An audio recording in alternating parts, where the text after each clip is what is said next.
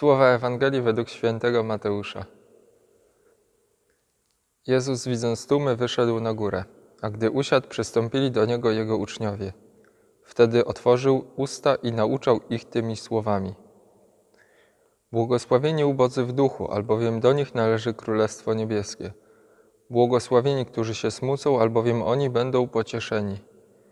Błogosławieni cisi, albowiem oni na własność posiądą ziemię.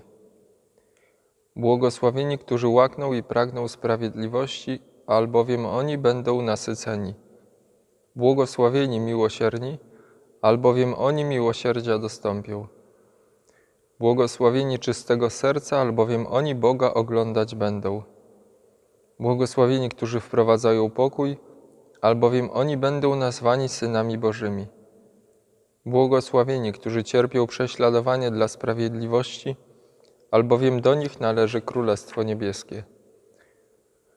Błogosławieni jesteście, gdy wam urągają i prześladują was, i gdy z mego powodu mówią kłamliwie wszystko złe o was. Cieszcie się i radujcie, albowiem wielka jest wasza nagroda w niebie. Ewangelista Mateusz, opisując kazanie na górze, rozpoczyna od słów nieprzypadkowych. Podobnie jak Mojżesz na górze Choreb otrzymał od Boga prawo, tak teraz Jezus zasiada na górze, aby to prawo przekazać.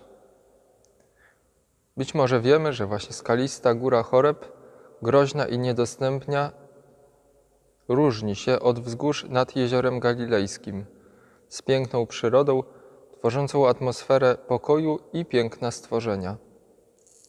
Odkąd bowiem Bóg stał się człowiekiem, Królestwo Niebieskie nie jest niedostępne, nie jest odległe.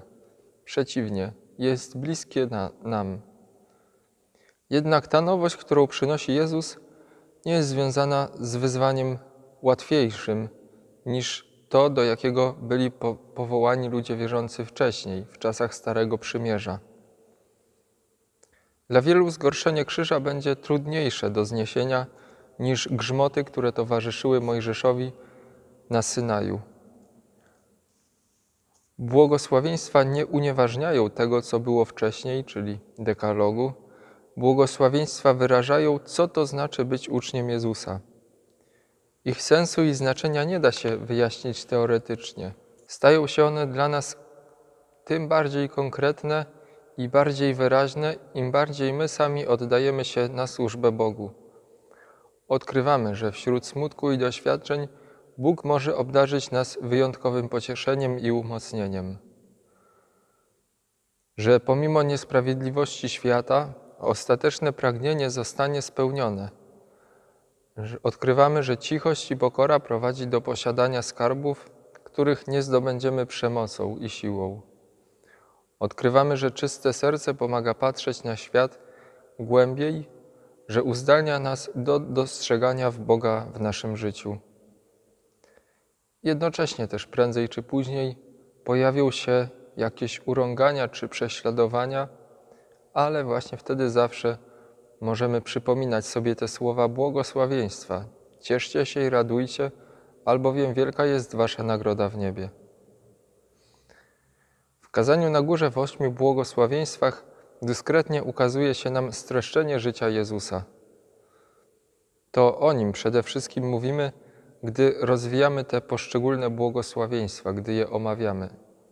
To On sam dał jako pierwszy przykład, jak realizować to, co mówił, jak realizowanie wygląda w życiu codziennym.